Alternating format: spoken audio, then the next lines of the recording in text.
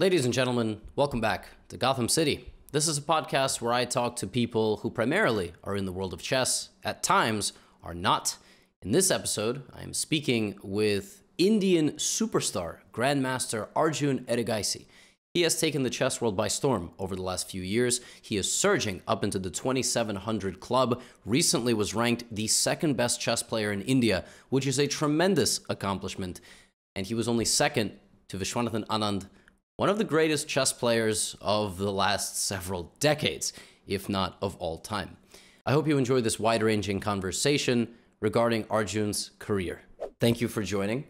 I appreciate it. I want to start with so I know you in a in a unique way. Like I know about a lot of the young players from India, uh, but I know you in a slightly different way because there was a summer that I played your coach, your former coach, I believe, Victor Mikhalevski. I played him two times in five days. So we, we just played in a tournament and then we played in a round robin right after that. And I remember him posting on Facebook a couple of months later that he had a student named Arjun Erigaisi who got all his norms in like eight months. So, or six months or something like that. Can you take me back through that time? Can you uh, tell a little bit to the audience, like that journey of being 2300 working with victor and getting your three norms i mean six norms for im and gm kind of in six months? Yeah so it was back in 2018 so i crossed 28 uh, 2300 in 2016 february if i remember correctly. And i was stagnant around that point for a very long time for two years around. And that was the time when i was approaching my 10th grade. So i wasn't sure if i should spend more time on chess or studies, and it was a very difficult phase for me. But uh, I started working with Victor Sir in 2017, and I always could see that it was helping me, and I, I could feel that I was improving, but results were just not showing up. And I kept trying, trying, and my father wanted me to quit chess and get back to studies, and all this was happening. But finally 2018 january is when it started and i made my first im no? I, I was just a 2300 fm then. But once it started I, I started getting confidence.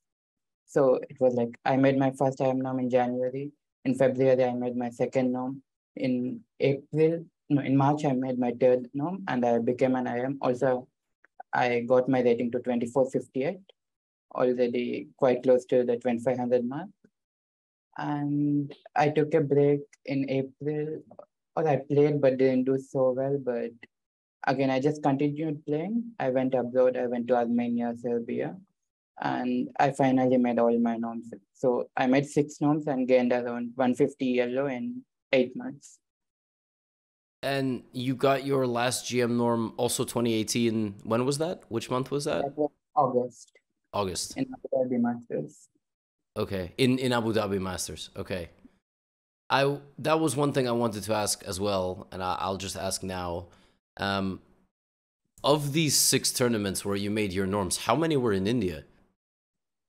Uh, two of them were in India. The, two of them. The very first IM norm and the very first GM norm.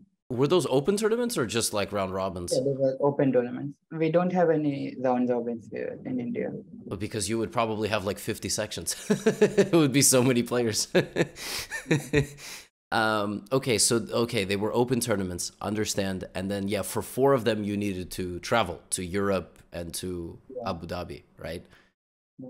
Um, that's a very important detail for people who don't understand norm chasing in chess like i know it's it, it, might it might be a personal question but like i've shared how much it costs to play a chess tournament. Is it similar if you're going to travel with your family let's say to europe? Isn't it thousands of dollars? I mean it's a very expensive trip. Like you you need to do well. Otherwise it's a waste of money right?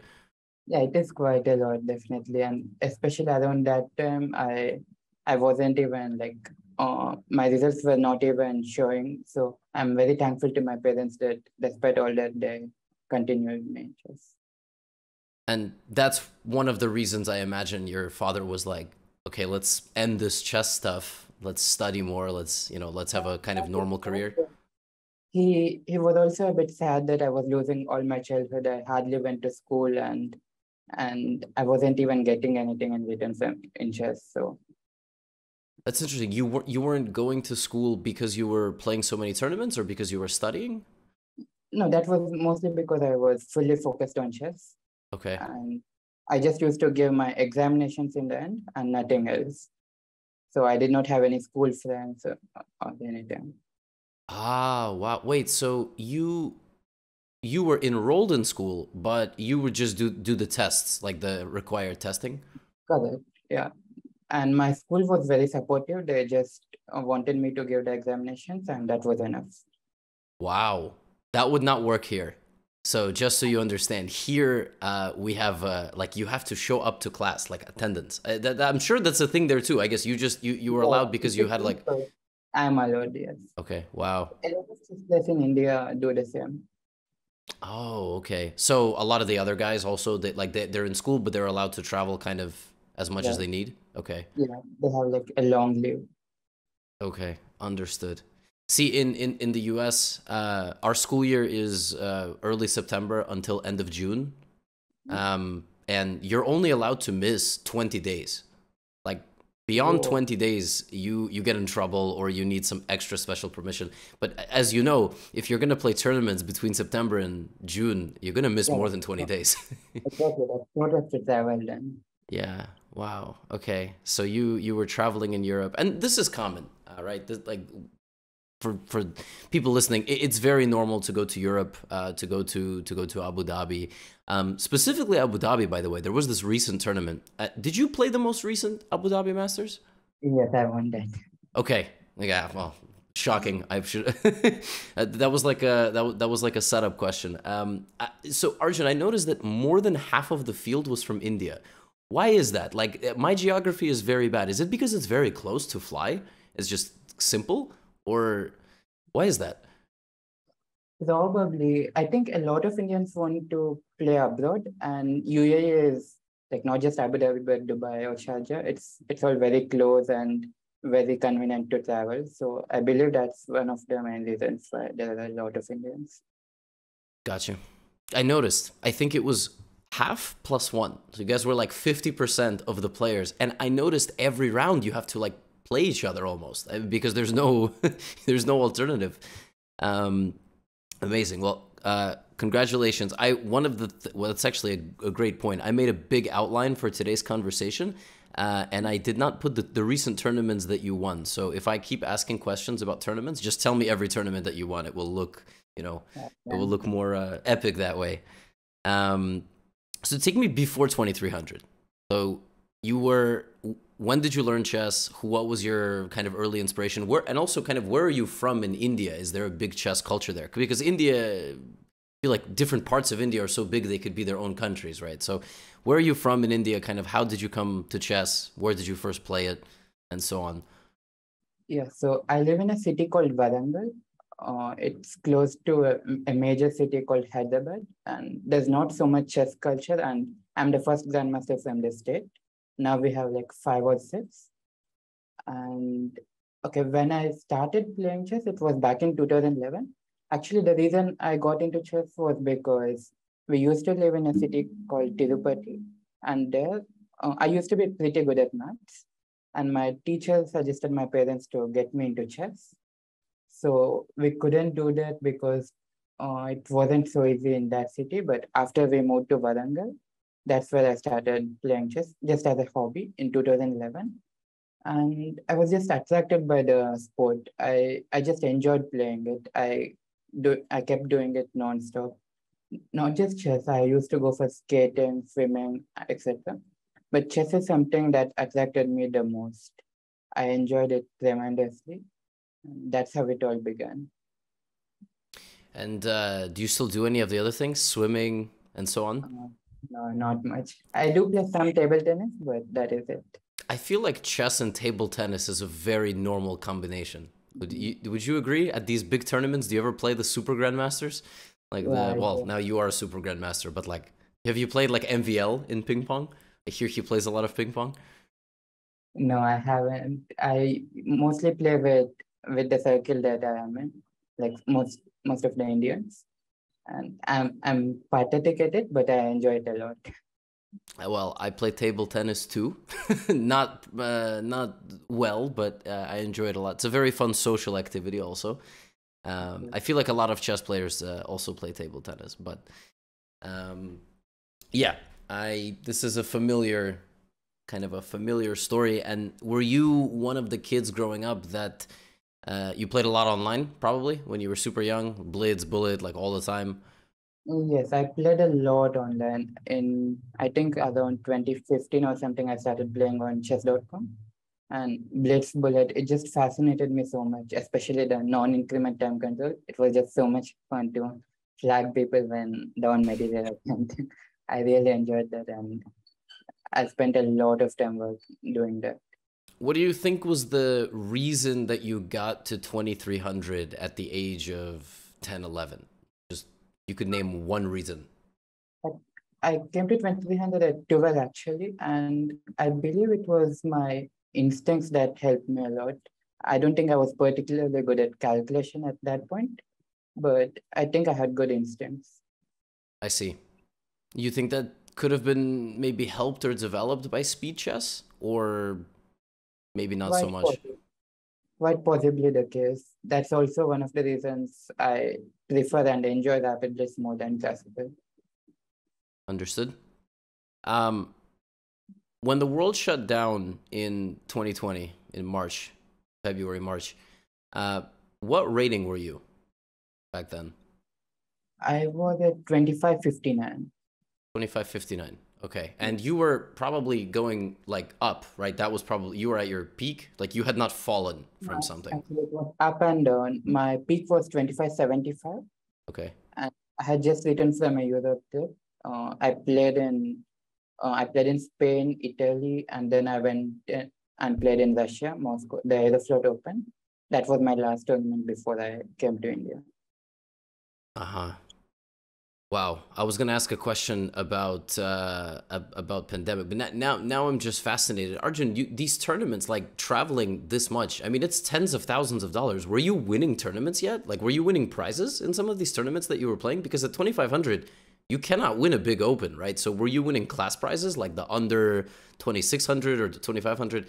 I mean, like you you you were like a startup company no like i mean basically you know you, you're traveling and, and pl- making all these uh expenses but it, it like the journey to being a super gm is is a lot of time and money no Yeah, indeed. Uh, it was a lot of expenses. I was winning some prize, but it was nowhere close to how much we were spending.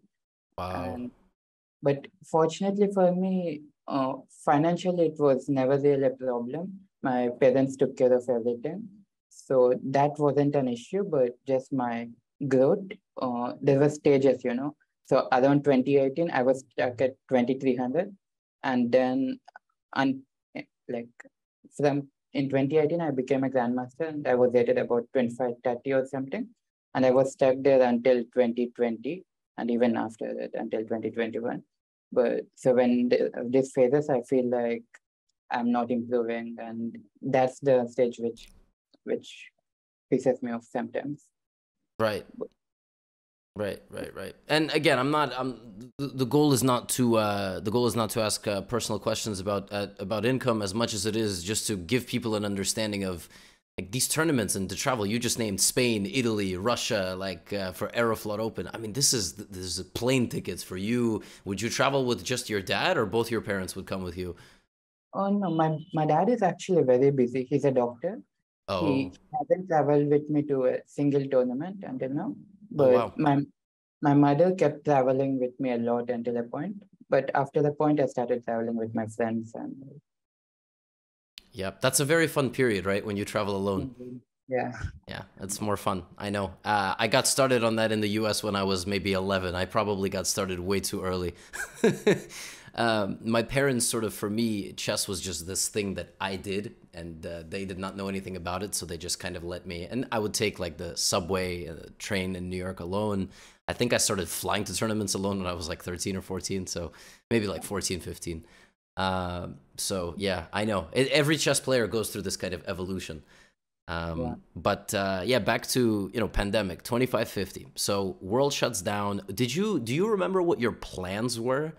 Because I remember in New York, the the whole everything shut down like two weeks into March. So, do you remember what your plans had been? Like what you were planning to play before everything shut down? Yes, I do remember. So I was planning to play in Vietnam. There was a tournament called HD Bank. Yeah, yeah, yeah. HD Bank Open, yeah. Also, I was planning to play in Dubai, Sharjah, all these tickets, all these tournaments, and I think I also booked my aeroplane tickets. And I was quite excited because uh, so before this trip in the Europe trip in uh, Spain, Italy, etc. I I wanted to play a lot, but I couldn't because I had to give my 10th examination. 10th I took quite seriously, so I spent a lot of time. And after that, I wanted to play a lot, but I had a surgery. I, I had a knee injury, so I had to go through a surgery and three months of bed rest. And after that, I wanted to play a lot. I did, and I just wanted to continue to play, but the pandemic happened, so I was very sad at that point that I couldn't play any longer. Oh my god. What'd you do to your knee? What did a chess player do to his knee? this is a very funny story. I I fell down in a flight. In in a flight? Yeah. Like on a plane? Yeah, on a plane before they took off. So Oh, oh, because were you walking up the stairs to the plane or? Oh no, no! I just got into the seat. I I wanted to put my bag up, so I just got up, and something happened to me. I fell down, and later, the doctor told me that my bones are naturally a bit uh, loose or something like that. So I should be very careful in general. It can happen just like that. Oh my god. Oh my god. Yeah. And you you were obviously on a plane to a chess tournament. Yes, I was going to Switzerland, Zurich, Biel. Ah, you played like the Biel, not the Masters, but there's like a, a second section, right? Like I think the Open. Yeah, open tournament. The Open tournament. Wow. So did you play the whole tournament with like a broken knee or something? Yes. So my mother was like, "Let's just go back to India and see." But I really wanted to play, and but she she was desperate to go back because she was so tense. She didn't know what was happening there. So she was even looking for flight tickets, but luckily we found kneecap, and somehow it really helped and in fact, I even won the Blitz tournament with a broken. I mean, uh, obviously. um, oh my gosh, that's uh, uh, that is that. But how how is your knee now? How's the how are you feeling now physically? It's now completely fine. It doesn't really change anything. Yeah, yeah. It's uh well, Arjun, not you don't need my chess advice, but I will say if you have free time, you should, you know, you should buff up a little bit. You never know when there's going to be a chess boxing event. You, well, you're doing like a death match, right, against Gukesh. When is that? It's on fifth November. I don't mind if it's chess boxing match. Yeah, yeah. It's it's not gonna it's not gonna. You guys are not gonna punch each other, but uh, you never know. Um, when it could when it could come in handy. No, but I hear I hear that to be a really good chess player, you need to be in really really good shape, right? We hear this a lot, uh, and I'm curious. Right now, are you just taking advantage of being a young guy? Because you're healthy overall. You're, you're not doing like an hour of physical fitness every day. You're not like running, lifting weights. Is that kind of the next step? Um, I do like 45 minutes a day, but it's not intense, not at all. It's just the very, very basic and the bare minimum that I can do. Got so you. I'm not taking it that seriously, but yeah, at some point I think I'll have to be more serious about it you're taking advantage of being a young guy. You know, people in their 30s tell me, "Oh, you're, you know, you're only 26. You don't know what it feels like." And I'm telling you, you're 19. You don't know what it feels like, right? So it keeps going, you know, down and down. I had a, I yeah, I had a. I think everybody in their life, probably in their first 20 years, has some sort of injury. Mine was like my lower back, which obviously is really tough because you can't, you know, sitting constantly for chess. Now it's okay, but yeah, it has it, it has flare ups. It has some problems. Uh, but okay yeah let's go to let's go to kind of co- uh, pre-covid you know you have the surgery you want to you want to play more but now you can't. So now what? Right? It's march april it's like panic you don't know can you leave your house? Are you gonna die? You know it's like a crazy time in the world. Uh, so what did you do? Did you just play online? Did you start training? Like, what was your first couple of months like? Because it feels like it was 10 years ago, but at the same time, it feels like it was yesterday. So, can you take me through that time? What did you do for your chess because you couldn't go out and play? Yeah, so at first I was very motivated to work hard and get stronger in the during the pandemic so that I can play well once I, I get to play tournaments. Mhm. And I started playing all of these online tournaments. There were some PNWCC events and Titled Tuesdays, everything, everything that was possible. And also I started to train a lot more than I used to. And I was quite motivated. But after the point, like after six months into the pandemic, uh, like around October, November, I started losing motivation. That all of the work that I'm doing is not really helping me because there were no tournaments and I just lost motivation. And in fact, I remember at some point I was spending more time on Among Us than on chess. Do you know this game Among Us? Yes, Among Us. Mhm, Yeah. I used to play it a lot with my friends and we used to play for like we used to start at 10 p.m. or something and play until 4 a.m. in the morning sometimes. It was crazy. wow. When you say friends, who who is the like? eh, Are all the young guys in India friends? You, Pragg, Nihal, Gukesh, etc. It's like, is Oh. that the circle? Rag is the only one whom I don't know so well, but that circle included uh, amongst the names that you mentioned, it just included Nihal, and there were some others like Siddhant, Balu. I, I I'm not sure if you're aware of them. Uh, what were their names? Or Siddhant, Balachandra Prasad, and, And they're they're also like young GMs. Yes. they're not so young. They're international masters. Ah, well, they gotta, you know, they gotta become GM, and then uh, and then we'll hear about them in six months probably because they will be winning. Uh, yeah, no, I, uh, no, I mean, I, I'm gonna be completely honest, Arjun. If I haven't, like, I, I feel like the chances of there being a titled player from India who I haven't heard of at this point is so high. And I experienced this, for example, when I was scrolling through this tournament that you won. I'm like, who are these 2400s? I've never heard of them in my life. It's so scary. um, so, but wow, Among Us uh, is uh, yeah, I remember that man. I remember, and all the streamers were playing it, and it was uh, it was an interesting time. Uh, What was the first uh, tournament you played when the world opened? When was that? Uh, I played in March of 2021 in Bangladesh. It was just one tournament. How did it go? Uh, I gained like nine Elo and I was quite happy with that. Okay. And also some of the people tested positive there. I was fortunate enough not to. So, And you played in a mask, oh Right? yes. yeah, yeah, Yeah. yeah. yeah. That's I remember those days.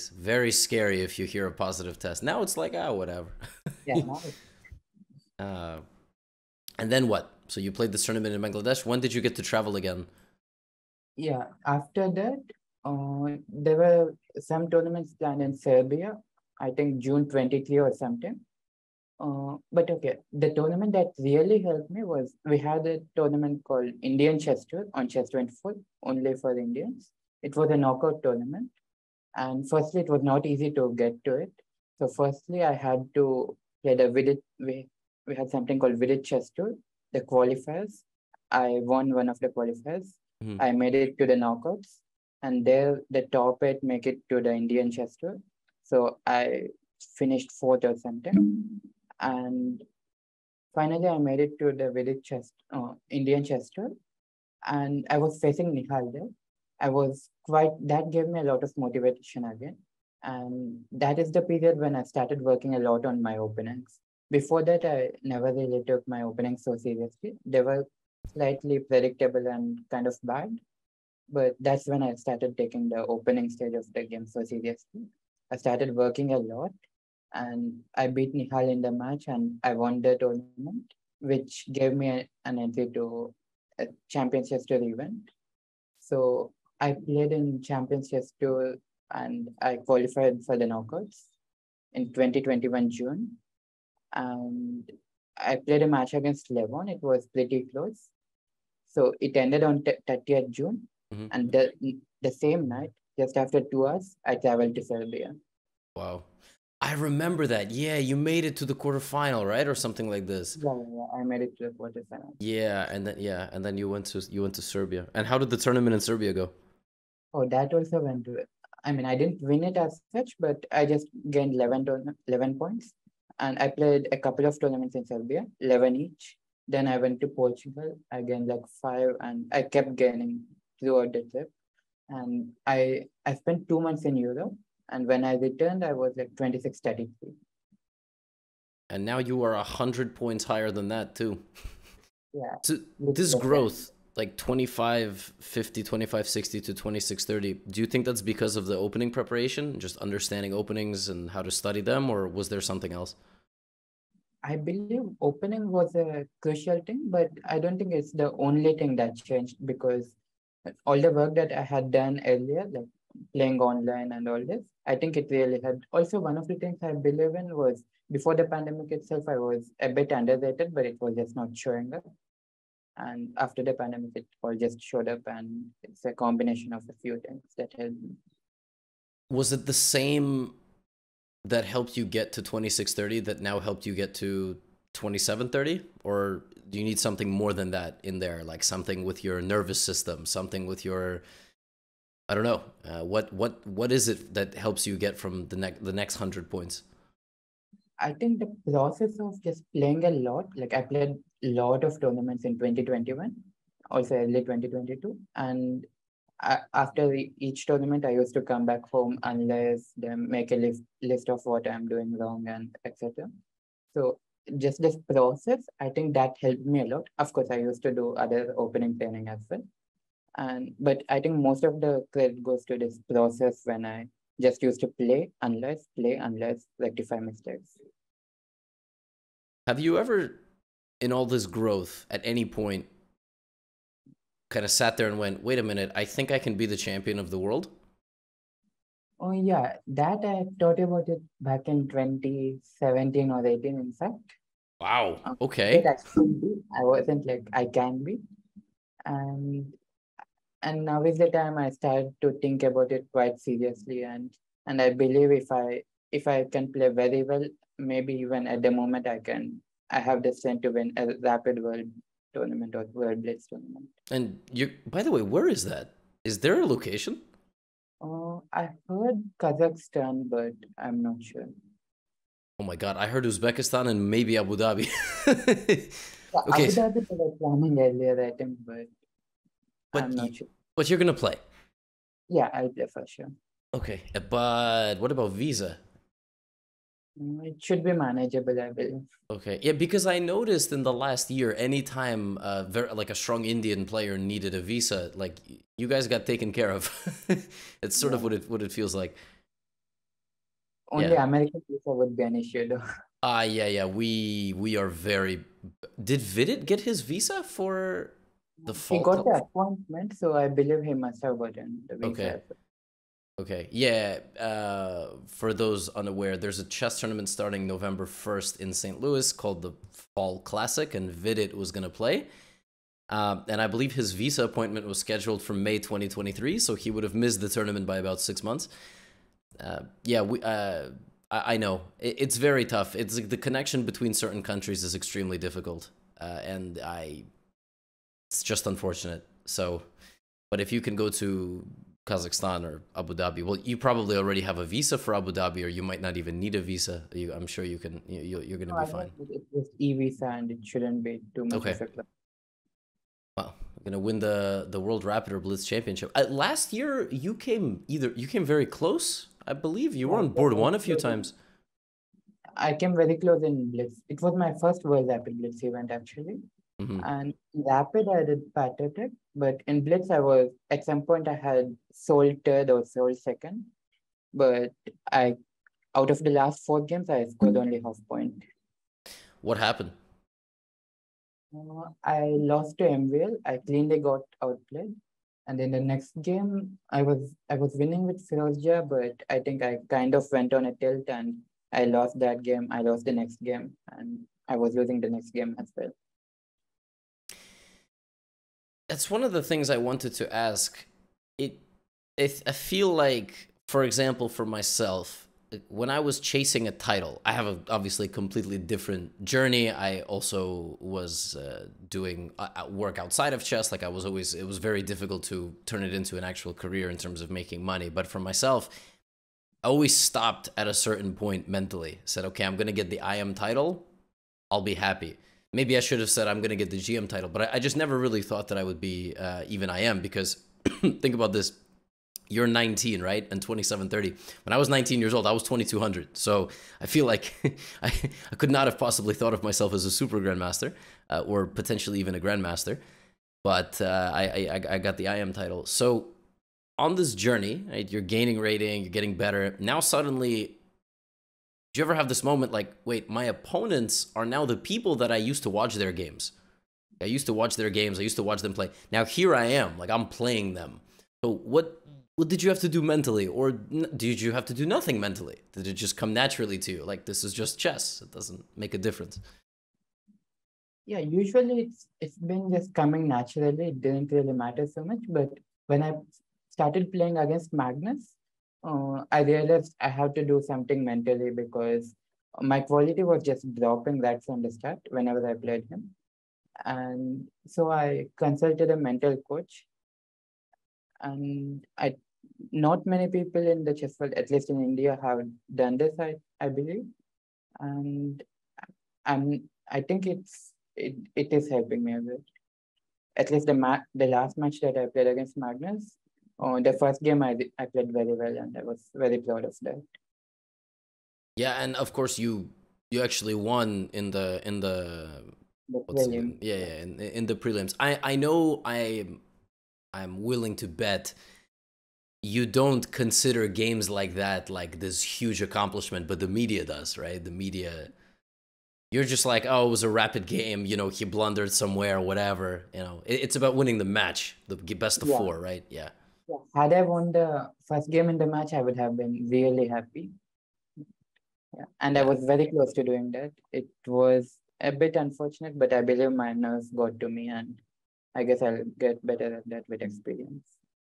Understood. And I know these questions can be a bit like strange. I know in the chess world that you you it's really tough to ask competitors like uh, about like nerves and uh, being uh, whatever, just sort of whatever. I don't know if the right word is intimidated, but it, it is a very like mental and individual game. You don't want to kind of spoil any strategy. But so you're saying with Magnus, it's maybe a little bit different, but okay, you've already seemingly to conquer that. But everybody else, you're like, I'm gonna just take care of them, no problem. uh, not at the very start, but with time I just got used to it. So the match against Levon, which I had, I think that really helped me a lot. After that, I I haven't really like my quality hasn't really dropped just because I'm playing someone very strong after that match. I think that match is what should take the credit for that, I believe.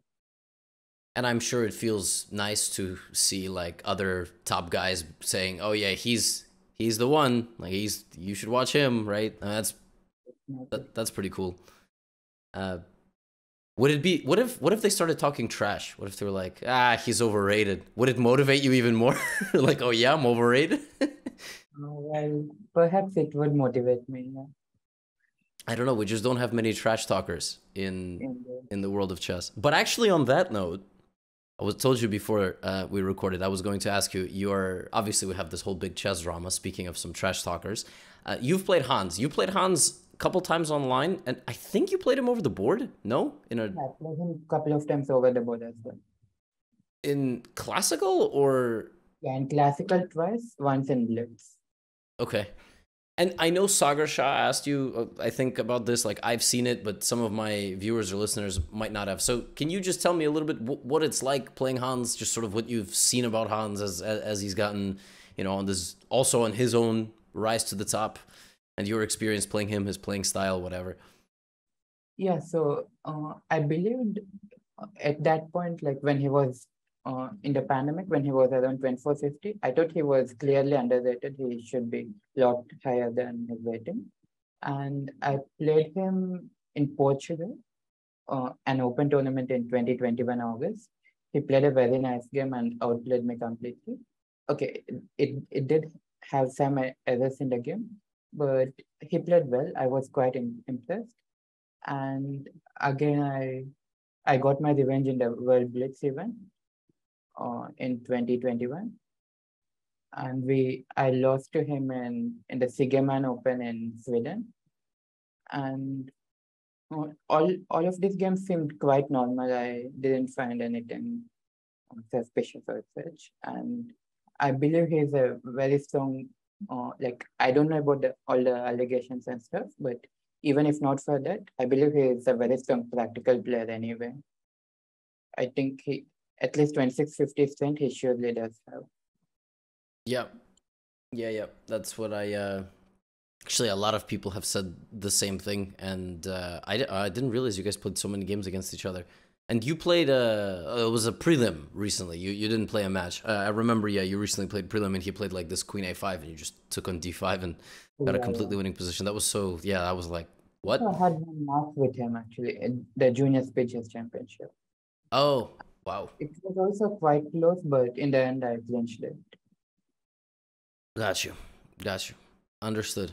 Well, we can go down the list of all the big names that you played. One of the games that you played recently was a very fun one, uh, at least to me. And I told you before we even recorded, I was a little bit sad this video didn't do so well.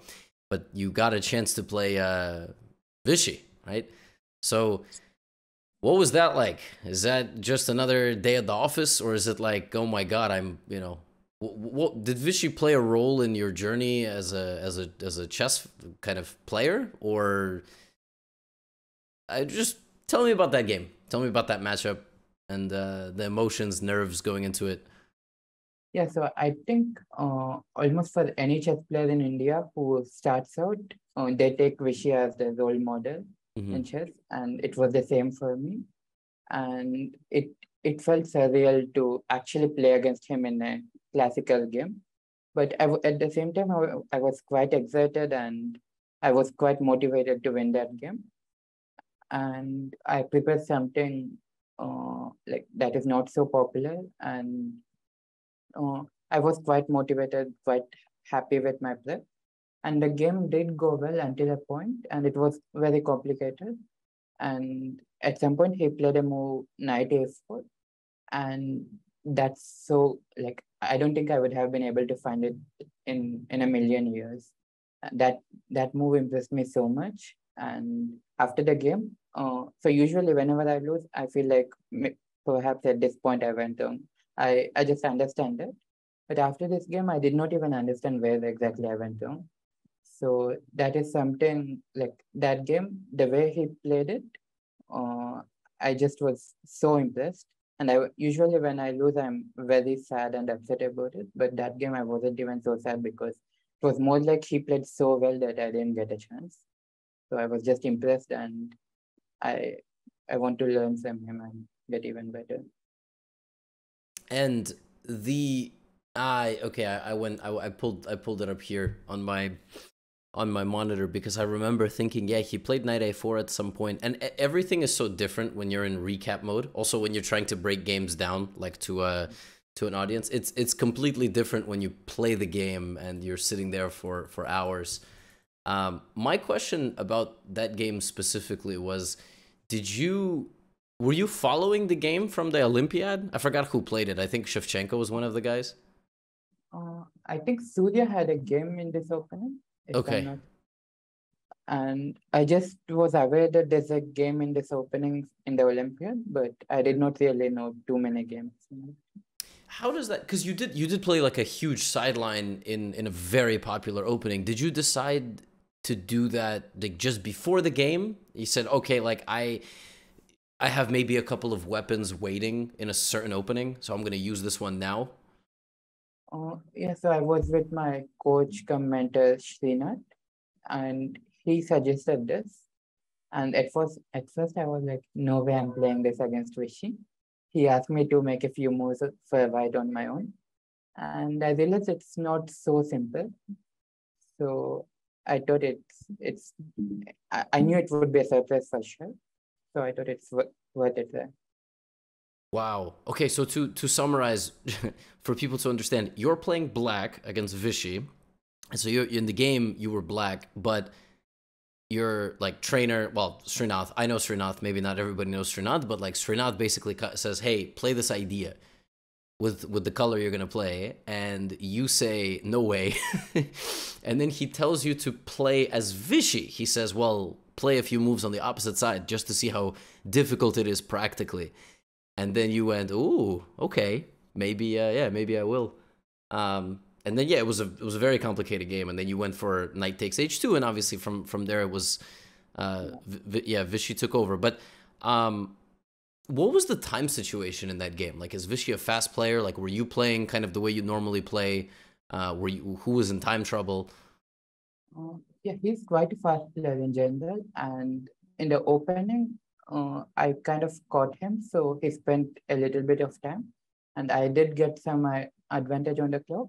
But then he started playing fast, and I took some time. So we had roughly around the same time, it was plus by minus two minutes.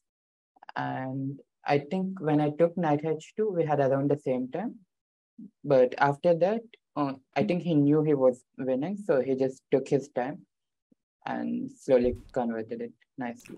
When you when you took on h2, did you think you were like you when you sacrificed the knight in that game uh, for kind of like an attack? Were you doing it out of desperation, or were you doing it out of uh, like I, you actually thought you were you were just gonna win the game after knight takes h2, and then you missed the small resource? Oh no, I thought it's just a uh, like I thought after the sacrifice I would get three points, which I was getting, and in terms of material, it's even, mm-hmm. and so there's I thought there's nothing wrong with it. Uh, even while analyzing, uh, he he felt that he should be close to winning there, but I I thought it should be a complicated position where I, even I could be better, but uh, he was completely right. So yeah, I mean that's kind of normal in, in chess, right? You see the same thing, you just evaluate it differently, and uh, sometimes one side is right, sometimes both sides are right, um, but sometimes uh, yeah, sometimes uh, sometimes um, you kind of go for something and it and it and it doesn't quite work. Yeah, but uh, well, the interesting thing about like the the variation that you played in that game against Vishy was uh, was very rare, very unique. So it's kind of like a one-time thing, right? It's not it cannot become a, a main part of your repertoire because then you simply become too predictable. Um, but when you need it, when you need like a weapon to win with black, uh, you will be fed the weapon, and then you will you will go and use it. That's sort of chess now, right? It's a lot of this, a lot of being ahead of others with opening ideas, right? I mean, how how much of your training at at your current level is is prep and openings versus other things? I mean, can you even train other things at this point? Or is it just basically getting to a comfortable position in the opening? Yeah, I think there's a lot of improvement uh, outside of the opening phase as well. So uh, I do a lot of calculation work and stuff, but also I focus a lot on openings, try to find new different ideas in different positions and everything. What uh what what is your overall repertoire? Are you like relatively flexible uh or are you I mean yeah. This is all kind of information. I'm not asking anything that's like super, you know, but are you kind of is it kind of like e5 c5 with black and you have to play uh, you know, you don't play knight f6 g6, you play knight f6 e6 d5 like this kind of a thing, right? You have a very professional repertoire, I would imagine, and do you have any also, I believe I, I'm very flexible. Like I, I can play King's Indian, I can play Grunfeld, I can play normal semi-Slav or something, Nimzo, whatever. Okay. And also Sicilian, Caro-Kann, French, E4, E5. I'm I'm just very flexible. I mostly decided according to my opponent. Uh huh. And obviously, the shorter the time control, the more you can. Yeah, the yeah. more yeah the, the, the more you can mess around and get an imbalanced position uh, because you have uh, wow so i always I, I, like to say this sentence to the audience like uh, e even me right like i know every opening in chess i could play probably five ten moves in every does that mean that beyond that i can play it no probably not but when you say you can play french you, you know you can play grunfeld king's indian like you you actually have very good and decent theoretical knowledge in most of the main lines right uh, not in all, for sure. Mm. But uh, one thing I like about myself is that uh, despite not knowing so much theory in some lines, for instance, yet I'm confident that I can find the most OTB if I'm surprised. So I think that's that's a good thing. Do you have a do you have a memory of being caught in some crazy prep over the board and you have to figure it out? Mm, not crazy prep as such, but recently in Dubai, I was playing against Predke Alexander from Mhm. Russia. And uh, so it was like E e4, c5, nf3, and c6. And I saw that he was mostly playing knight c3 or d4. And but against me, he played bishop b5. My knowledge there is very limited. And okay, I knew very few moves, like I knew I had to play e6, knight g7, knight g6, and that was pretty much it. That was my knowledge. And I played that. I got worse. He was making him his moves very quickly and all. And also I could just feel that I got worse. But I I was still very confident that I can fight back, I can at least hold or even win the game.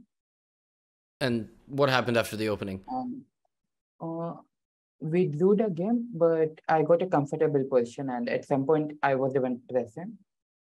But I Gotcha. let advantage slip and it it done. So you were you were worse. Uh, you were down on. Well, you were caught in the opening. You were probably worse, and you were down on time, and you were still confident that you were not going to lose. Yeah, no, in fact, for this game, I 14 minutes late. Oh, what happened? So it in Dubai, they they had a bus, but it was it used to leave like 40 minutes uh, prior to the game. Mm, So we thought it was too early. So me, uh, Tabatabaei, and there were two other guys. We used to take a taxi and go to the game. And this time we just didn't get a taxi for a very long time. So There's no like Uber. You can't like get a digital uh, taxi. yeah, that's possible, but every day we were just getting it on the road. So we were trying to find one, but we were not able to. That's I understand this sounds like a very funny sitcom, like four of the best chess or three of the best, four of the best chess players in the world, trying to find a taxi, but failing and getting to. Well, it, it's it's kind of normal, right? Like to to come to the game a little bit late, like two three minutes late. Yeah, Um, two things is very normal.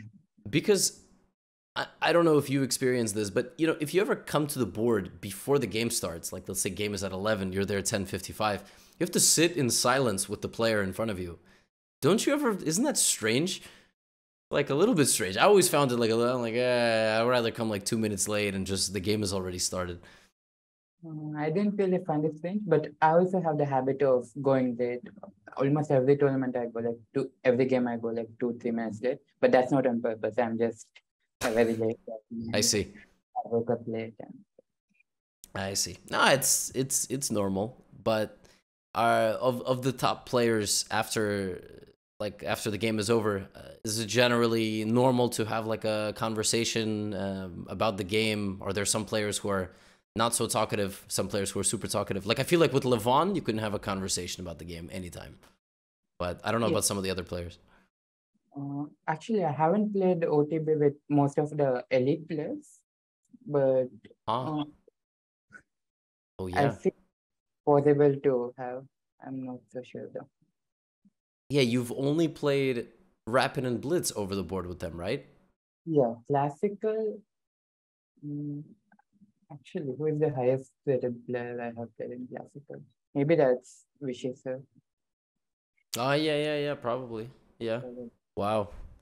That's so crazy, right? Like the pandemic has changed so much that you've played all these amazing players and obviously you yourself have become an amazing player, but it's all been mostly online. Are you are you able to share if you're going to play in Tata Steel in January?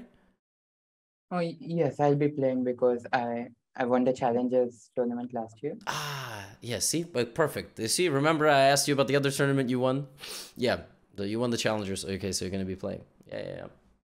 Uh, will there be another invitation to an Indian player? Do you know? Can you share? Can you not share? Because it's, I don't know if it's private information. Yeah, I do know there will be a few Indians. Okay, great. That's exactly what we need. We need you guys to beat uh, all the all the you know, 2750s, 2770s of the world. Uh, so, the way I like to sign off some of these is what's next for you. So you told me about World Rapid Blitz, but that's in two months. Yeah. So, what is So- coming up for you next? I have the death match with Gukesh. That's what I have next. Okay. on 5th November. And after that, I'll be playing in the major San Francisco event. And unfortunately, I cannot travel, but I'll be playing remotely. Oh, Sorry, like what? Major San Francisco event? Champions Chess Tour major. Ah, oh, oh, that's live? Oh, it's supposed to be live, but I couldn't get my visa, I see. so I'll be playing online. Oh, I did not realize. So it was supposed to be like a Miami style? Yes, exactly. Oh, wow. When is that? It's um, I think some something like 11 to 20 November. Oh, wow. Okay. I did not even that you see you are their marketing team because I did not even I did not even realize. Wow, 11. Okay. Wow. Okay. So you're going to be playing in that event all the same guys, right? Like uh okay, Magnus, but I, I mean I imagine there's going to be some others. I don't I don't even know who it's going to be. I guess Magnus, Duda, Pragg, and a few others. And then I'll be playing in the Tata Steel India tournament.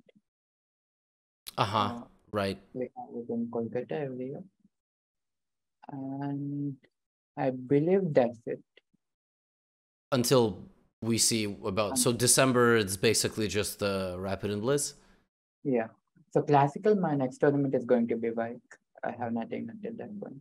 Ah, amazing. So how does that feel? You have three months to go until a major tournament. Do you even? It's like in school, right? If a deadline is three months away, you don't really like pay attention to it, or do you start your training now? Uh, no, I feel like I should focus on the current tournament. So I'm mostly focusing on Rapid Blitz right now. And I do take the- these tournaments quite seriously as well. At Yeah, some no, point, I used to be like classical is the only important thing. I shouldn't focus so much on Rapid Blitz. But now, uh, although I enjoyed Rapid Blitz more, and now the good thing is, I Rapid Blitz also has its own value now. So I really Yeah, I was gonna say some of these online events have unbelievable prize funds. It's almost more money than in classical. So, right, that's yeah, that's of course, that's of course a um, very important detail. If there was not enough, uh, you know, sustainability from a career standpoint, then uh, you cannot focus on it. No, but it, it makes a lot of sense. So, uh, un- un- got you. Uh, anything beyond Wijk in January or nothing yet? Nothing yet. After work, I have no clue, but I believe by that point there should be something. Who do you think is gonna win the world championship? Hmm, good question. I would go with Ding. because you you like the stability you like the you, you just think he's a little bit more I consistent just, I just like him as a player. Uh, I also see some similar similarities between him and me. oh between yourself and him Uh, yes. Have you played ding in any of the online events Um, yeah, I actually played him once in the 2021 Champions Chess tournament. right because you know like i did commentary on nihal ding and they had never played a chess game against each other Oh, okay. like ever online ever which is just so weird because ding is number two in the world in classical chess right so uh, but i guess uh what Wijk is going to be your first time playing classical otb against the best players in the world right? Yes, for sure. wow. That's exciting. What a weird time we live in because you're going to be when are you you're you're born which month? In September. oh september. Okay so you, you have you have a late birthday but you're, you're going to be i mean 19 years old and you've never I'm played in, in but in Uh, I turned 19 two months ago, one month ago. Yeah, I'm saying you're gonna be 19 in in Wijk already. Like you, you already, yeah, yeah. But you've never played the best players in the classical. It's so weird. It's just because the last like two years we just, Yeah. you know, we're just in this weird, uh, weird phase. So, uh, in terms of rating, do you is it 2800 the next goal, 2750 the next goal? Is the next goal number one in India? Is that a weird feeling, by the way, that you're gonna be soon maybe number one in India? Mm, no, I don't really think so much about the rankings in general. I just try to gain my rating and that is it. And now uh, I'm trying not to care so much about rating even because I don't know how many classical tournaments I'll be playing from now on. sure. So I feel like it's better if I just focus on the tournaments rather than on rating and ranking. And it almost feels like it's been a bit beneficial because, like you said, you were 2550, 2600. And I, I think we're in a spot in chess where rating doesn't actually reflect how good somebody is, which is a rare case. So you could be overrated and underrated too. And a lot of you were underrated, which was to your benefit. But now, if you get to 2730 and you start thinking about being 2730, you know, you you don't know what your actual strength is. You might be playing like a 2790 or whatever, and uh, there's no point, right? You just go and you play chess, and I guess that's been your philosophy. Oh, no, actually, I used to think a lot about ratings. Oh, okay. At some point, I so I played this tournament, French League, mm-hmm. in June of this year, and I was thinking so much about crossing the 2700 mark. I was like 2687 or something and that eventually affected my play um, because of the fact that I wanted to hit 2700 in that tournament very badly. I even started playing, performing below my level and stuff like that. So, yeah. So you you learned your lesson the hard way, and yes. got you. With all of the media attention on chess, I mean, in the U.S. it's quite crazy. I can imagine in India as well. It's it's very intense it i'm sure it it's amazing but at the same time it's kind of it can it can be a bit challenging i'm sure you have to kind of stay off social media in good and bad times it's just too much i would imagine right for a chess player yeah i believe so especially recently i uninstalled instagram okay i thought it's a bit too distracting and so yeah i'm not really checking so following the coverage and stuff so much yeah, you just go, you train, you practice, you uh, you play. Um, last question for me was gonna be when you were actually potentially considering quitting chess. Good job not quitting, by the way. I feel like you look back on that pretty like a like a pretty good decision. What were some uh, career paths that you you were thinking about? Uh, I was too young, so I hadn't really thought about it. But when I was young, at some point I thought I should become a doctor. Okay. And at some point I was like, maybe a scientist would be interesting. But I don't think I would have become any of this, even if I had not, even if I quit chess. What do you maybe think I, you would have become then? I mean, I just get this feeling that I would have become some teacher or something. Okay. Just a normal teacher who enjoys his work. Got it. Well, good job not becoming a teacher or a scientist or a doctor.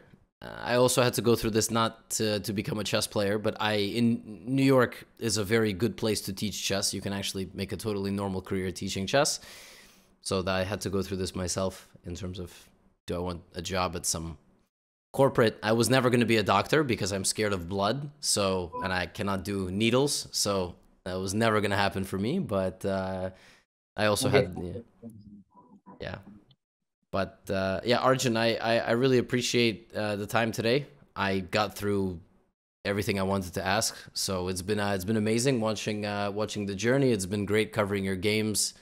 And well i, I just look look forward to doing it more and more. So all the best. Thank you. And it was nice being here. And thanks for having me. As always, everyone, thanks so much for your support of my main content as well as the podcast and my clips and so on. If you want to support me, there are donation links on my Twitch and my YouTube. But the best way to support me is to get one of my chess courses available at Chessly. That's chessly.com. All of my courses are hosted on there now. And I will see you right back here in Gotham City with our next guest very soon.